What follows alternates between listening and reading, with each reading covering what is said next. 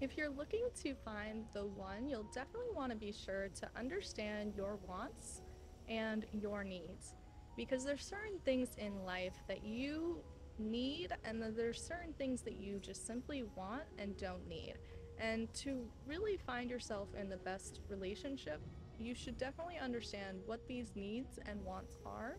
So then you can ensure that you're communicating them in your romantic relationship and really able to achieve the best outcomes and the most happiest situation.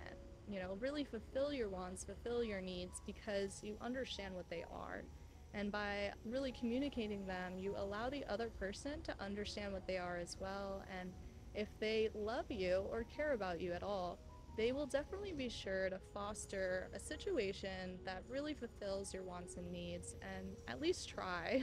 so be sure in love and life, definitely be sure to know what your wants are, what your needs are, communicate them, and really see if the individuals around you are trying to, you know, help you find your wants and needs within your life. Because if they are, then they, then you should probably keep them in your life.